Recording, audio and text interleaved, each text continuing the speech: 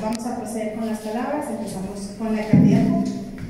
Muchas gracias, pues muy buenos días. Gracias por, gracias por acompañarnos el día de hoy a esta nuestra primera rueda con prensa. Gracias eh, Luis, muy, muy, buenos días a todos y a todas. Y el día de hoy iniciamos pues esta, esta rueda con prensa con un tema que para las personas, las familias, el Estado y el país es vital, que es el acceso al agua. Así que gracias por acompañarnos. Estamos claros que el agua pues, es de todas y de todos y nosotros necesitamos garantizar el derecho al agua que tienen cada uno de sus habitantes, de las familias y de todo el Estado. Me gustaría iniciar compartiendo con ustedes, para mí, dos datos de muchos, porque tenemos muchísima data, que son fundamentales para entender el contexto de lo que estamos viviendo, dimensionar la magnitud del desafío que tenemos y que es un tema, como lo ha dicho Luis muchísimas veces, derivado del cambio climático, también del crecimiento poblacional que, que, que tenemos y de las condiciones geográficas que tiene cada comunidad, que tiene cada estado. El primer dato que quiero decir es que 7 de cada 10 mexicanos habitan en una zona que tiene sequía moderada, que tiene sequía severa o extrema que eso es un tema muy importante, esto quiere decir que es un tema nacional, ¿no? Segundo, que en 21 entidades eh, más de la mitad de la población sufre falta de agua. Esto es información de INCO el, del mes pasado. Así que estamos claros que es una realidad que es apabullante, que es un desafío eh, que no escapa a Nuevo León, ya lo vivimos, lo sufrimos, tuvimos una atención profesional a la crisis, eh, lo que no se hizo en 20 años o más, se logró en, en dos años con inversiones importantes, tanto del gobierno federal, del gobierno estatal, de los empresarios, con la participación, yo diría que de todos, eh, en Nuevo León, con mucha solidaridad y con mucho trabajo, pero precisamente por eso debemos de eh, eh, haber aprendido y empezar eh, planeando eh, mejor. ¿Qué, ¿Qué estamos proponiendo? Bueno, estamos claros que hay muchísimas cosas que tenemos que hacer, no podemos hacer todas al mismo tiempo, pero sí debemos de ponerle un foco a encontrar juntos soluciones que sean, por un lado, holísticas, por otro lado, que sean innovadoras, multidisciplinarias, por otro lado, y para nosotros muy importante, que sean incluyentes y que sean justas. Entonces, en ese sentido, eh, bueno, y un tema muy importante también, que sean de largo plazo. ¿sí? Eh, eso es un, un, tema que nosotros eh, subrayaríamos, porque para nosotros es fundamental que veamos qué va a pasar, qué nos imaginamos que va a pasar, planear, monitorear, medir y poder plantear esas soluciones de largo plazo que se necesitan. Para ello nosotros hemos estado hablando con muchos expertos, es un tema que Luis también conoce bien, que que, se ha metido a profundidad, que yo lo viví con la crisis y me tocó eh, también atenderlo, eh, y que tiene que ver con cómo podemos proponer medidas legislativas que sean en ese sentido eh, focalizadas en temas tanto para lograr la sustentabilidad como para lograr la, la seguridad hídrica. ¿no? Y hemos platicado de focalizar en varios temas. El primer sector, y no menos importante, es el campo. Ya Luisa abundará sobre, sobre eso eh, en, un, en, un, momento más. El tema de la industria, el tema del comercio. En el tema del campo estamos claros que el 70% del agua se va al campo. Pero también estamos claros que un poco más del 30% se desperdicia de ese 70%. Entonces, es un tema para nosotros que va a ser fundamental y ahorita vamos a ahondar en, en el tema. Eh, ¿Qué pasa con el campo? Y este es un, un, un, proyecto que desde hace muchos años he estado yo involucrada. Y es que los, los productores del campo tienen desconfianza. Se les ha prometido tanto y han, han tenido tantas decepciones que ya no quieren a veces escuchar de, nuevas, de nuevos procesos, de, de, de propuestas de tecnificación, del, del, campo, que eso es para nosotros un tema fundamental y hemos estado también recientemente hablando con expertos y ya podremos ahorita eh, abonar. Para mí lo más importante es que todos estos proyectos y todas estas propuestas que llevemos al campo realmente sean de un ganar-ganar. Y eso es parte de las propuestas legislativas que, que vamos a estar haciendo. El segundo, el segundo sector que para mí y para Luis es fundamental es el de los hogares. Primero porque todos tienen derecho al agua, pero segundo porque también en los hogares es donde se desperdicia alrededor o más o menos del 30% del agua. Entonces necesitamos eh, volcarnos a, una, a crear esa conciencia del cuidado del agua, de una cultura del cuidado del agua como se hizo hace muchísimos años. No cuando hay crisis, sino siempre. sino siempre. Sobre todo con las escuelas, con los niños, con las niñas, con los adolescentes, en las familias. Esto es un tema primordial. Y el tercer eje, digamos, o sector, pues son las nuevas fuentes de, de abastecimiento. ¿no? Eh, hemos escuchado de muchos proyectos por muchísimos años, algunos que se terminaron consolidando en estos últimos dos años, pero otros de largo plazo que necesitamos evaluar y acelerar el paso, sobre todo un tema fundamental, el financiamiento. Y ahí eh, el llamado pues, es a un mayor financiamiento también por parte de la federación. Que dicho sea de paso, y lo hemos dicho, eh, con agua tuvo en este sexenio pues un, una, eh, una bajada de presupuestos de más del 80%. Un recorte espantoso. Entonces, ese es un tema eh, muy importante, no nada más de presas, porque ahí también dependemos de la lluvia, estamos hablando de diferentes fuentes eh, y hemos hablado de la desaladora, que, que, Luis también ha profundizado en el tema y que ahorita también podrá, podrá compartir más. Así que no es ciencia ficción, son cosas que ya existen en el mundo Existen aquí cerca. Existen en México. Sí, existen en México, en Baja California. Existen, nada más en Texas hay más de 50 plantas desaladoras eh, que están aquí al lado. En California, en España, en fin. Ejemplos hay muchísimos, ejemplos que ya están probados, que tienen mucho tiempo, inclusive trabajando con la sociedad civil, con los ambientalistas y que, y que podemos nosotros aprender y poder hacer planteamientos inteligentes para poder acelerar el paso hacia proyectos como esos, en donde definitivamente se va a requerir de coinversiones tanto del gobierno federal como de las empresas, etcétera,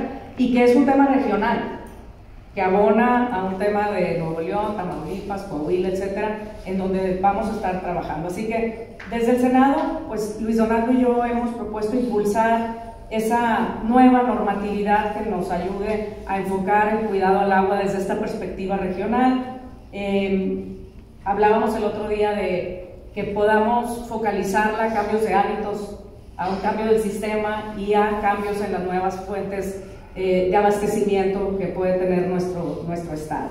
Eh, ¿Cómo? Eh, proponiendo una ley integral que regule la gestión del agua, que es un tema para nosotros muy importante, que haya una real medición, un real monitoreo, una real planeación ya, sabemos cuáles son los riesgos, ya sabemos qué puede pasar en el futuro con el cambio climático y demás, cómo va creciendo la población. Entonces podemos impulsar que exista realmente una planeación estratégica con monitoreo, con evaluación. Por otro lado, y también Luis ha tenido esa bandera, el tema de la reforestación, que es fundamental, y la conservación de cuentas hidrográficas, la regulación del agua en sectores clave, los incentivos para captar agua de lluvia, en fin, nuevas propuestas que, que, hay que impulsar de mayor forma. Insisto, el tema de la ampliación del presupuesto y de financiación por parte de la Federación. Así que el acceso al agua, y Luis no me dejará mentir, ha sido una de las grandes demandas que hemos escuchado en nuestros recorridos por parte de la población en todos lados eh, así que estamos claros que este es un tema de interés nacional, es un tema vital para todos los seres humanos, que también tiene que ver con la energía y también tiene que ver con, con una posible crisis de alimentaria si no cuidamos esto el día de hoy. Así que eso es lo que, con lo que quiero empezar como contexto y le paso el micrófono a Luis para profundizar en algunas semanas.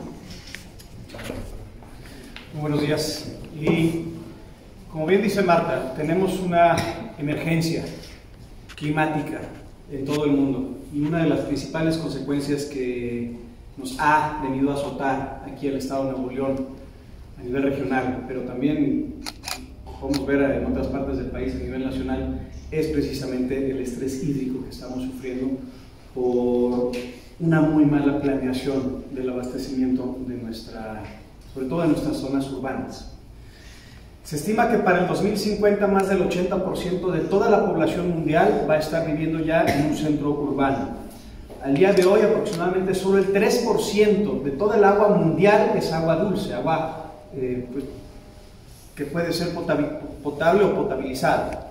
Eso quiere decir que más de prácticamente todo el agua del mundo está en los océanos.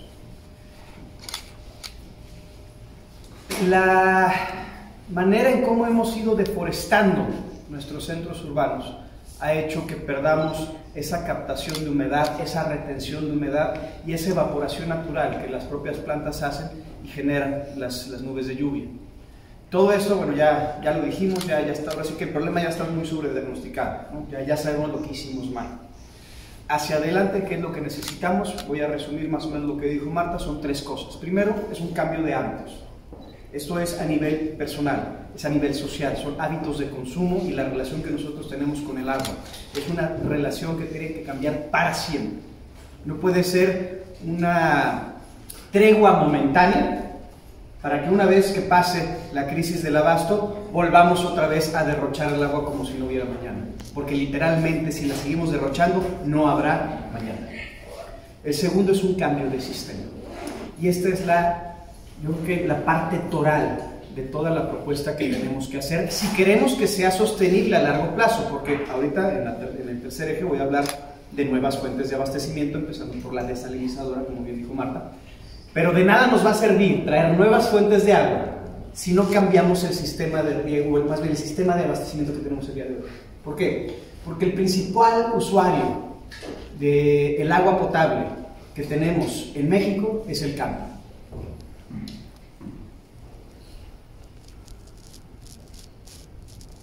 Este es el total de agua que tenemos en el país. Una cuarta parte es lo que se utiliza para consumo humano, es decir, para consumo doméstico, y consumo industrial. Solo una cuarta parte. Cuando vienen las sequías, cuando vienen los recortes, luego, luego queremos encontrar al culpable. Y seguido nos vamos con las grandes industrias, decir es que ustedes utilizan mucha agua, y sí, sí lo hacen pero incluso todas las concesiones industriales están dentro de esta cuarta parte de todo el agua que se consume a nivel industrial y doméstico. Eso quiere decir que tres cuartas partes, mucho más de la mitad, son lo que se utiliza por el principal usuario, que es el campo. Esto tampoco quiere decir, y ojo, que debemos de satanizar el campo. Claro que no, al contrario, el campo es el principal afectado aquí. Déjenme les explico. ¿Por qué? Porque década tras década lo que tenemos en el campo son malas estrategias de riego y tenemos una actitud gubernamental en donde década tras década abandonamos más al campo. El productor agrícola y el productor pecuario el día de hoy tienen prácticamente todos las mismas tecnologías de riesgo, de riego y abastecimiento de agua que teníamos hace 50 años. Y esto lo digo con conocimiento de causa, vengo de una familia de productores agrícolas y pecuarios. A mí nadie me Entonces son realmente pocos los productores del campo que tienen acceso a suficientes recursos para tecnificar inteligentemente el abastecimiento de agua de sus tierras. Entonces, otra cosa que dijo Marta, que es muy importante, que también me entusiasma mucho. No estamos sugiriendo que se invente el hilo negro. Estamos sugiriendo que se apliquen cosas que ya se han aplicado no nada más en otras partes del mundo, ya en México. Y tenemos un buen ejemplo en Aguascalientes, en el distrito de Riego 01, en cómo precisamente la tecnificación del campo y la generación de datos de riego y de abastecimiento de agua permite que los productores agrícolas de ese sector de riego, de ese distrito de riego, hayan multiplicado exponencialmente su producción, por ende sus ganancias, reduciendo hasta en un, más del 50% la, el agua que utilizaba. Es decir, de esta que solamente se aprovechaba, porque estas dos se desperdiciaban, estas son las tres que se usan en el campo. Esta se aprovecha, estas se desperdician. Estas ya se guardan y ahora estas dos son las únicas que se usan. Industria y consumo doméstico y campo de manera efectiva. Y el campo le va mejor con esta tecnificación. Eso quiere decir que el 50% de todo el agua que antes se desperdiciaba, el agua total que tenemos, que antes se desperdiciaba o que ahorita se desperdicia, pues, se puede aprovechar para almacenamiento y posterior consumo humano. Y aquí les voy a dar un dato que a mí me dejó, ahora sí que, el ojo cuadrado. Eh, y esto no lo digo yo, lo dicen expertos en sistemas de agua y de riego. Con la tecnificación inteligente del campo, Nuevo León no necesita, al menos en el futuro, no solamente próximo, sino incluso hasta mediano, no necesita nuevas fuentes de abastecimiento de agua. Nos llueve lo suficiente cada año para poder abastecer a toda la región. Si tan solo dejamos de desperdiciar el 50% del total del agua que tenemos, como lo estamos haciendo el día de hoy, por malas técnicas de riego o abastecimiento para el campo. Y esta es una deuda histórica no solamente que se tiene con la población, para el abastecimiento de agua potable. Esta es una deuda histórica que tiene México con el campo, que es el principal usuario del agua, pero también es la génesis de todo nuestro sistema alimentario nacional. Es la base de nuestros tratados de libre comercio. Y el día de hoy, que no estemos volcando muchos recursos para poder tener nuestro campo a la altura de lo que debe de tener México, para México y para el mundo, me resulta absurdo 30 años después de tratados de libre comercio. Entonces, eso es lo que necesitamos el día de hoy en Nuevo York y en México. Cambio de hábitos, cambio de sistema al tecnificar el campo y regar de una manera más inteligente y finalmente, ahora sí, nuevas fuentes de abastecimiento de agua.